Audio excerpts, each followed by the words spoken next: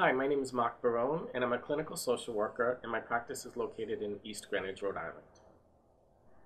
My area of expertise is anxiety and mood disorders, as well as trauma and grief. I treat both children and adults.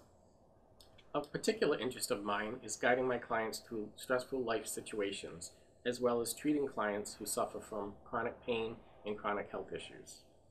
If you find yourself struggling with daily negative thoughts and stressful life situations, you're not alone, but there is help.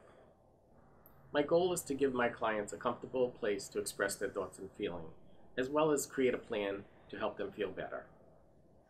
It's important to understand that going to therapy isn't about discussing what's wrong with you.